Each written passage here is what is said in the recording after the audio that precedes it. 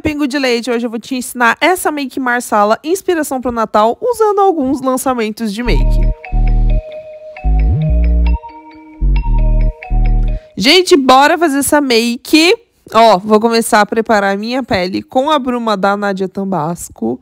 Ela é bem levinha, gente. O spray dela é super levinho também. Eu acho que ela é mais uma bruma hidratante do que fixante e mate, sabe? Não sei explicar. eu preciso testar ela mais vezes, mas é uma bruma bem gostosa, tá? Deixei a pele secar, absorver essa bruma, né, para iniciar a hidratação. Enquanto isso, eu fui ali, ó, é, penteando a minha sobrancelha usando esse gelzinho da Melu. Aí eu gosto de usar esses pincéisinhos que são descartáveis, sabe? Que eles são mais durinhos. Eu acho que entrega mais produto. E eu gosto de fazer assim, ó. Esse produto eu acho que ele funciona melhor direto na pele do que por cima da base do corretivo, tá?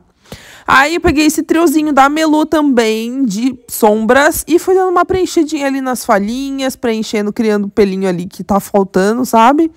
Deixando a sobrancelha mais pretinha ali pro final. Tô gostando muito de fazer assim. E aí agora eu vou hidratar minha pele com o Hidrazen, que é um gel hidratante de Lancome. Ele é maravilhoso, gente. Gosto bastante. Minha pele já tava bem judiada nesse dia. Eu já tinha feito muitas makes. Então aí eu gosto sempre de usar um hidratante um pouquinho mais poderoso, assim, quando a pele já tá mais judiada. E ele é bem gostoso, ele deixa a pele muito macia, muito macia, nada oleosa, sabe? Mas ele é um pouquinho mais denso, mesmo ele sendo em gel, ele não, não absorve, assim, que tem hidratante em gel que a pele absorve e chega resseca, né? Esse não, ele é bem gostoso. E aí, em seguida, já venho com a minha base mate de Dala, base lançamento da Dala. Embora ela seja mate, é, ela tem um acabamento mais viçoso, assim, sabe? Ela não é aquela base seca, sabe? Que repuxa. É uma base com acabamento muito natural. Ainda mais se você caprichar na hidratação da pele antes, ela fica com acabamento muito lindo, assim, muito hidratante, tá? É, depende bem do que você vai passar antes dela. É uma base bem leve, assim, pro, meio, pro dia a dia mesmo. Acho que é uma base perfeita pro dia a dia. É, e eu passei ela mais arrastando porque eu queria uma pele um pouquinho mais leve mesmo, não queria tanta cobertura, tá? Por isso que eu tô dando uma, essas arrastadinhas. E aí eu vou usar o BT Skin Plush, lançamento de Bruna Tavares, né? Gente, consegui comprar um lançamento da Bruna Tavares enquanto é o lançamento. E eu comprei esse corretivo. O outro corretivo da marca não deu certo pra mim, aquele do tubinho maior e mais grossinho. Esse não deu certo, mas esse daí já é incrível. Eu gostei demais dele. Ele tem um acabamento mais hidratante, assim. É, cobertura de média para baixa, tô falando na embalagem. Eu acho que ele tem uma cobertura média, assim. Ele é super levinho, também achei corretivo cara pro dia de. pra make de dia a dia, sabe? Pra quem gosta de make levinha, só pra dar uma leve cobertura. E a gente tá muito nessa vibe de clean girl, né? De, de make clean. A gente tá muito assim, então tem, é muita tendência para esse próximo ano, assim, são produtos mais leves, eu acredito, com acabamento mais hidratante, para dar só aquela cobertura leve, assim, aquela make para parecer que não tá maquiada.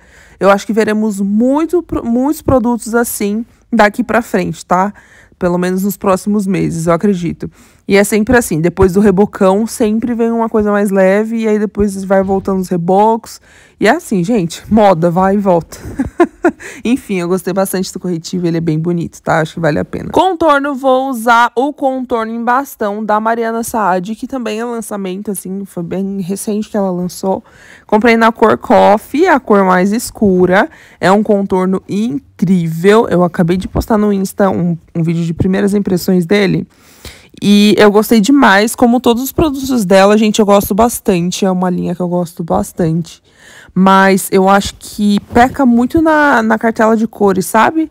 Deviam ter mais cores, só três cores, uma clara, média e escura, eu acho muito pouco. Essa daí é a cor mais escura, está de longe, assim, não vai atender todos os tons de pele. É, é, um, é um contorno que cria camadas, ele cria cor, sim, ele fica bem mais escuro que isso, mas não vai atender uma pele retinta, sabe? Uma pele bem escura. É, eu acho que eles deviam ter investido mais cores, pelo menos umas cinco cores, no mínimo, sabe? Acho que daria melhor. Mas é um bom produto, tá? Aí agora de blush, vou usar o blush Melon Pop da Ruby Kisses. Não sei porque eu não coloquei o nome do blush aí, mas é o Melon Pop, é o meu favoritinho, que eu uso ele para tudo, gente, eu amo. Ele é belíssimo. Ai, gente, sou apaixonada nesse blush. Ele tem um cheirinho incrível. Ele desliza assim na pele, parece uma manteiguinha. Passei até um pouquinho nos lábios. E aí eu selei tudo com o Light Up, que é pós-lançamento de BM, os pós-reformulados de BM. Esse Light Up, ele é próprio para a área dos olhos, assim. E ele é mais fininho, tá? E aí eu aproveitei já peguei e selei a pele todinha com ele. Esse pó é incrível, incrível, incrível. Eu tô amando usar ele. Eu acho que ele logo vai acabar, porque eu uso demais. E aí eu vou selando, ó, tanto as áreas de iluminação quanto o restante do rosto, tá? Vou dando batidinhas, depositando ele. Gosto de fazer isso com esse pincelzinho mais achatadinho, esse pincel da Mariana Saad, tá? É o MS2. Adoro aplicar pó com ele, ele se encaixa super bem nas áreas do rosto, principalmente essas áreas menorzinhas e de curvinhas, tipo entre os olhos, nariz, sabe? Ele é mara.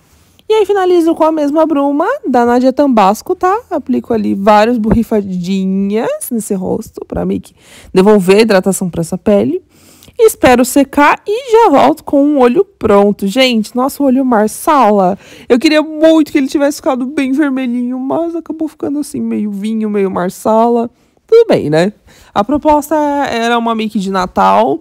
E é uma make de Natal, tá bom? E eu queria muito testar a paleta da Prilessa, então é por isso que eu fiz essa make, tá? Apliquei o BT Skin Plush também nos olhos, na pálpebra. E aí tá a nossa bonita. É a paleta Los Angeles, lançamento da Prilessa. Lançou, na verdade, na Beauty Fair, né, gente? Acho que em novembro, alguma coisa assim, né?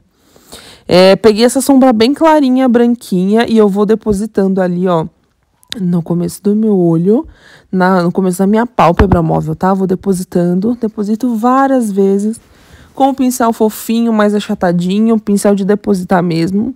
Pra sombra branca ficar bem, pigmenta, bem pigmentada, o certo é você passar um corretivo bem clarinho antes, ou um primer branco, ou uma sombra líquida branca por baixo, assim, para fixar a sombra, sabe? Que aí vai ficar muito claro, tá bom? Mas até que funcionou ali, ela é bem pigmentada, então deu tudo certo.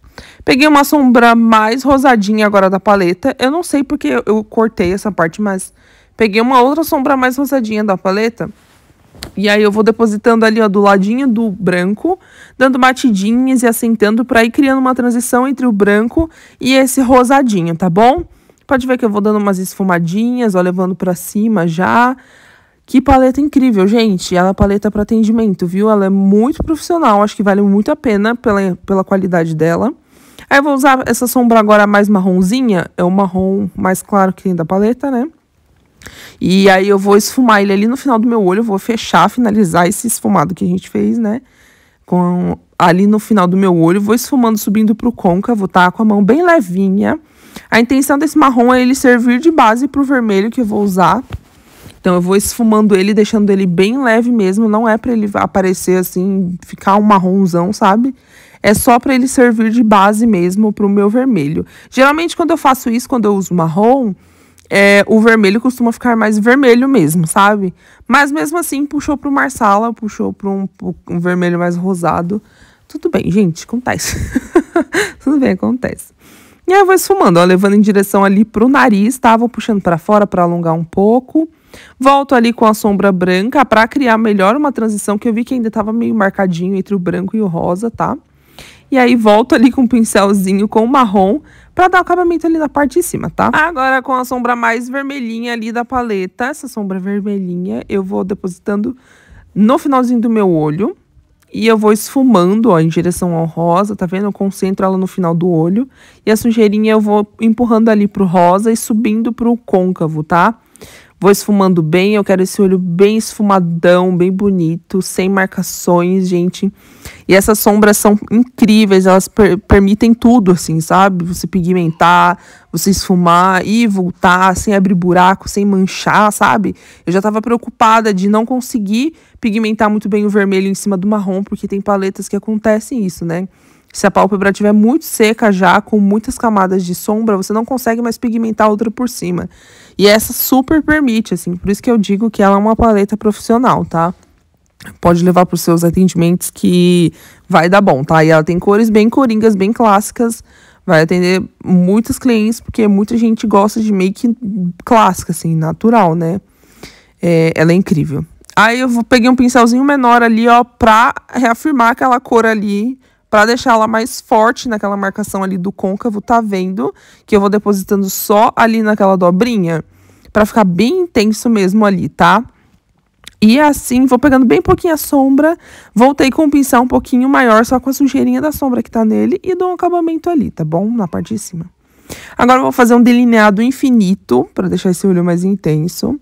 Eu usei essa caneta delineadora da Francine, você pode usar qualquer delineador que você preferir. Pode ser em gel, pode ser líquido, tá bom? Qual você preferir. Aí eu fiz um delineado ali até quase o final do meu olho. E aí eu vou pegar um pincel pequenininho agora e vou dar uma esfumada no final, tá? Pra ele ficar esfumadinho. Aí com esse pincelzinho aí eu vou esfumando de fora para dentro para tirar a marcação do preto, do delineador. E aí eu pego a sombra preta da paleta e vou dando ó, batidinhas para ir depositando e meio que esfumando assim para fazer esse preto do delineado se integrar com o esfumado do olho, tá? Então eu vou depositando ali, ó, dando batidinhas, leves, arrastadinhas. É bom pegar um pincel mais fofinho para fazer isso, para te ajudar no, no, nesse trabalho. Pode ver que esse pincel é mais arredondadinho, ele cobre certinho ali naquela área. E aí, ó, com a pontinha dele eu vou levando a sujeirinha do preto levemente lá para cima, tá? Aí volto com a sombra mais avermelhada, tá? Para dar o acabamento. E eu vou esfumando ali, ó, entre o preto na parte de dentro e o preto na parte de fora, para tirar a marcação e fazer ele se integrar com o restante do esfumado que tá nesse nosso olho, tá bom? Por isso que é bom ter um pincel assim menorzinho para ele se encaixar ali, ó. E eu esfumo só onde eu quero. E aí eu volto com o pincelzão dando um acabamento na parte maior, nas partes maiores de esfumado, tá? Na parte de baixo do olho vou passar lápis preto, vou usar essa lapiseira da Francine. Ela é bem macia e ela é bem pigmentada, então eu passo bastante ali na linha d'água. Dou uma borrada para fora do olho também. Eu sou apaixonada por essa lapiseira, gente. Ela é incrível, incrível. Aí eu vou borrando ali, ó, pode ver, dou uma borradinha para fora do olho. Vou pegar um pincel fininho novamente e vou esfumar esse preto, tá? Esse, essa lapiseira preta. E aí eu vou esfumando só as bordinhas, tá, gente? E já integrando com o esfumado ali na parte de cima.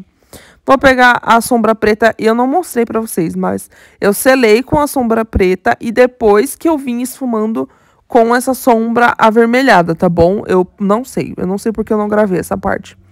Mas eu fiz isso, tá? Então, selei com a sombra preta e depois eu vim com a sombra avermelhada esfumando. E aí, para finalizar, é, para dar o acabamento final nesse esfumado, peguei um pouquinho da sombra marrom e esfumei, tá?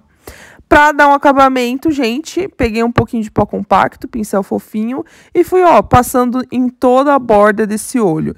Passei ali na parte de baixo, tá vendo? É pouquíssimo produto, é só pra dar o acabamento, pra fazer uma borda bonita ali, tá? Pra dar um acabamento profissional. Passei ali também, ó, abaixo da sobrancelha. Gente, isso aí tira qualquer marcação que possa ter ficado, qualquer coisa que possa ter ficado manchado. Principalmente sombras mais avermelhadas, sombras azuis, verdes, que geralmente mancha, dá uma manchada, sabe? Mesmo que você esfume bem. Pega o pó compacto e passa assim por toda a bordinha que depois, que ó, vai ficar, ó, 100%, tá? Vai garantir que a sua make vai ficar 100%, bem bonita, com acabamento bem pró, que é isso que a gente quer, né?